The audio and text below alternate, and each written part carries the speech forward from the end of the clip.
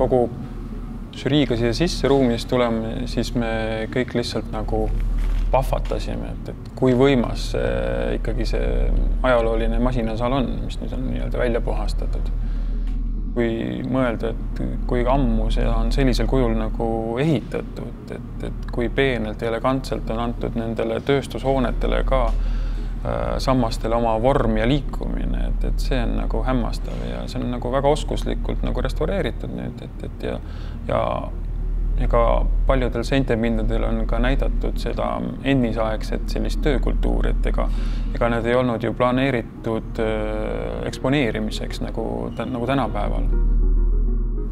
võib-olla huvitav on mõelda, et äh, kui see maja äh, projekteeriti või ehitati, siis algselt oli see seestpoolt kõik krohvitud ja värvitud. arhitektid olid ju samad, mis Õnne paleel või, või Draamateatril aga kuna see krohv oli nii halvas seisukorras ja, ja enamus sellest oli nagunii juba maas, siis me otsustasime krohvi maha võtta ja jätta seinad paljaks. Et aga noh, see ei ole tegelikult autentne, et tänapäeval tundub, et et eksponeeritud tellis ja paekivi seinad, et see on nagu ehe tööstushoone, aga ta ei ole tegelikult kunagi selline olnud, pigem võiks ette kujutada, milline oli, oleks Draamateater, kui sealt võtta krohv seintest maha, et äh, sama tegime me siin. siit võib-olla on väga huvitav asi, et see vana hoone ei ole ju sirge ega täisnurkne, et ta tundub, et ta on äh, kandiline, aga tegelikult kõik need kaared on omavahel natukene viltu ja, ja, ja see maja on tegelikult rombikujuline. Äh, aga noh, arvutis joonistades kõik joonistatakse ju otse, et selles mõttes see on nagu vanade majade puhul ikka, tuleb nagu koha peal sageli palju lahendusi leida. et tegelikult kõik need torud algselt pandi arvuti järgi. ja nad tundusid siin, et on täiesti viltu. tegelikult torud olid otse, aga maja oli viltu.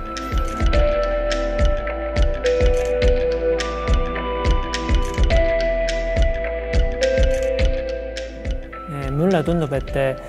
selline vana hoonesse sekkumine uuema mõtetega ja see kasutusviisi muuta, see võib-olla ei ole eh, trend, aga see on mingisugune praegune mõtteviis, et mitte hoone lammutada, vaid nagu seda vana hoone kehandiga tegeleda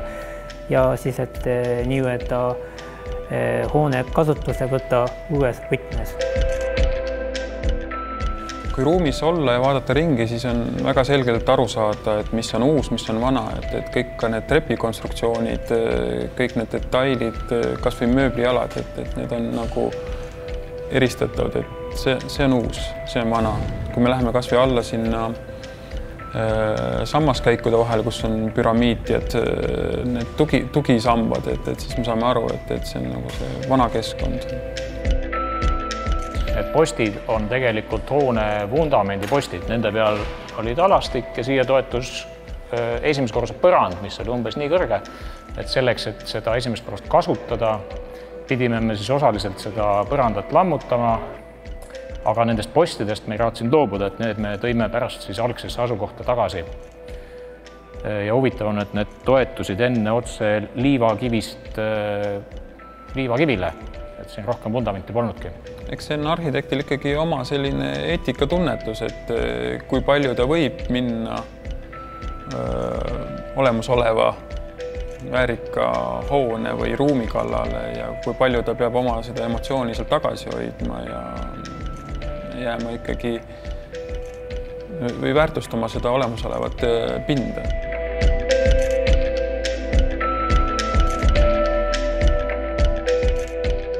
noh, muinsuskaitse eritingimustes oli, oli ka, kahe, kaks sellist olulist ruumi kvaliteeti, mida pidi säilitama, üks oli see masinasaali pikk vaade ehk siis piki hoonete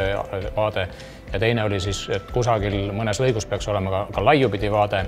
Ja siis meie lisasime sellele veel ka kõrguses, et see saal ei ole algselt kunagi nii kõrge olnud, kuna, kuna meil on siis eksponeeritud ka see kunagine siis kelder või, või maa-alune osa. me püüdsime pakkuda selline, sellise lahendus, et pakkida kolm korrust esimese endisele ühekorruselisele ruumile, et nagu see keskmise osa on jäetud nagu,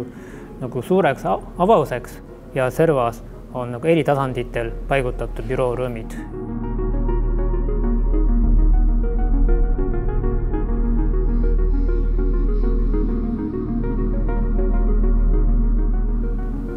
minu arust valgustid oli väga õnnestunud, need mm. ümmargused. hisavad minimaalsed, aga eelistab ennast ülejäänutest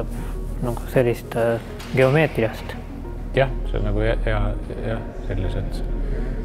nagu mitte midagi, aga samas on. midagi. samas on midagi, noh, annavad niisuguse nagu kuidagi. kindlasti on arhitektil või, või sisearhitektil kui ta nii suurt aatriumit näeb, äh, kihk äh, midagi suursugust riputada või, või, või valguslahendust teha, et ega väga raske on ka siin äh, valgustada sellist kõrget ja suurt ruumi, aga väga leidlikult on siia riputatud sellised sõõrjad valgustid, mis nagu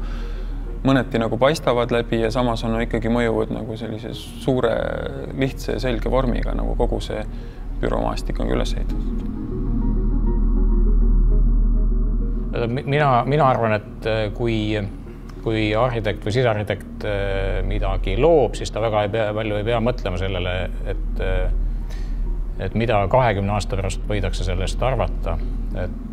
pigem peaks olema ikkagi praeguses hetkes ja, ja nägema ette seda, mida, mida, mida, mida praegu inimesed vajavad.